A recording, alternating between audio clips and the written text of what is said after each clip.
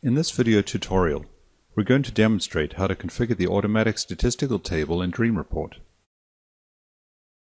The automatic statistical table, or AST, allows a user to quickly create a summary or statistical table in just a few clicks. In Dream Report Studio, we'll click on the AST icon in the toolbox.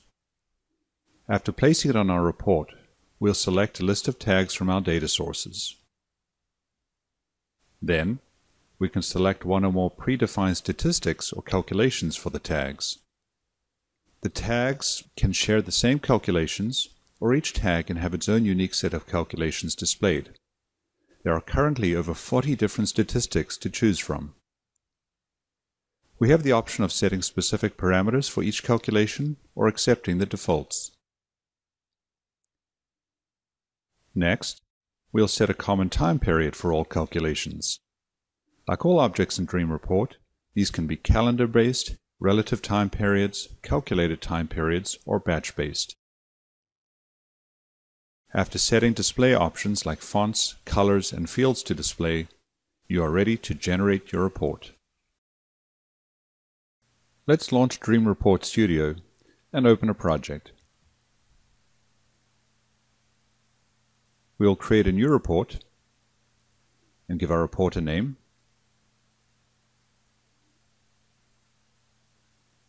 Now the report file format is PDF and we'll just set it to auto open the PDF after generation. For the report header, I'll add a dynamic text object which will be the report name. Set a couple of font properties and we're ready now to insert an automatic statistic table.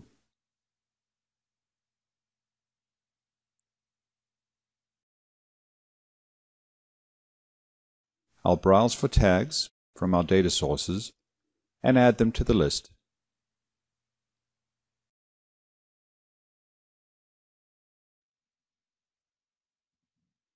Next, we'll select which functions we want to include in our table. As you can see, there are many to choose from. Since these are analog tags we're working with, I'll select min, max, average, and standard deviation to include in this table.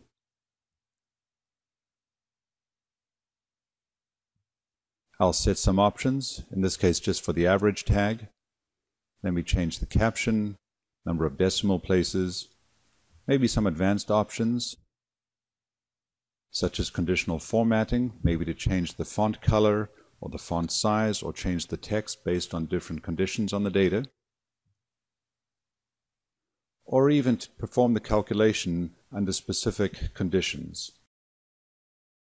Now we select our time period to be the last 15 minutes. And then finally, let me set some appearance options for the table, like table name, as well as fonts, colors, and which fields to include in the final table.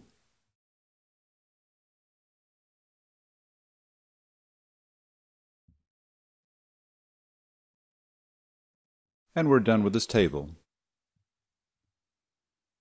I'll now add a second automatic statistical table, but this time we'll use discrete tags instead of analogs and select our tags. In this case, we'll show summary information for a set of pumps and motors.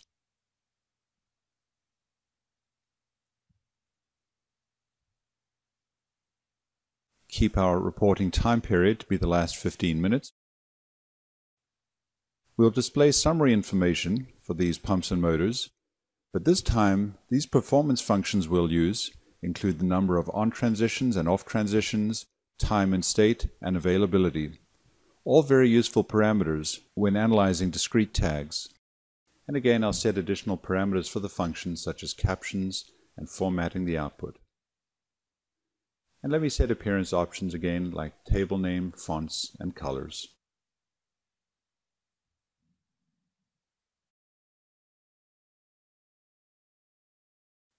Our basic report is complete, so let's save it.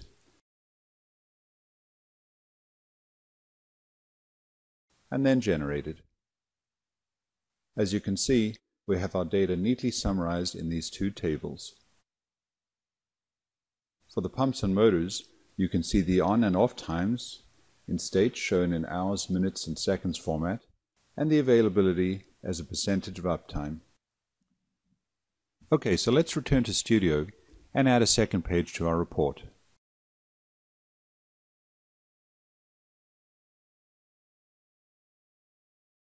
On this page, we'll again show summarized data using the automatic statistical table, but this time calculated over the duration of the last batch that ran.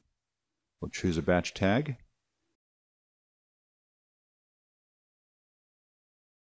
and then we select last batch for our time period.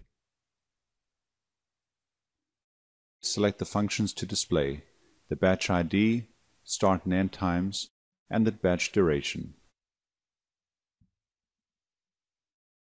We format this table.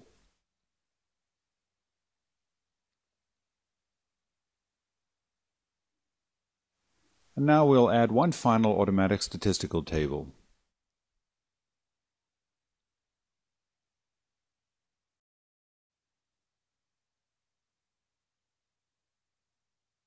Here we'll select tank level and temperature tags again.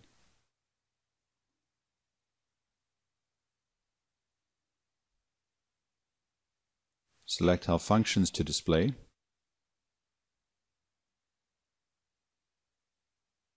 And again, we'll use the last batch for the time period. Finally, set our table appearance options. Give our table a name, some alignments, colors, and font settings.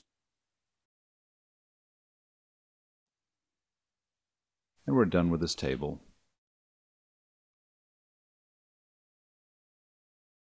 Let's add a page number object to our report now that we have multiple pages. And apply a background image to the report as well.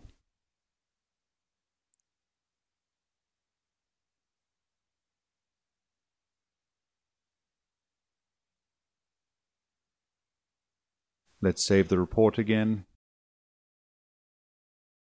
reload it, and then we'll generate it.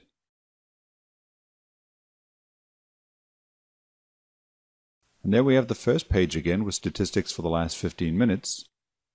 And then on the second page, we display the last batch that ran up at the top, and then all the associated statistics displayed below for that specific batch.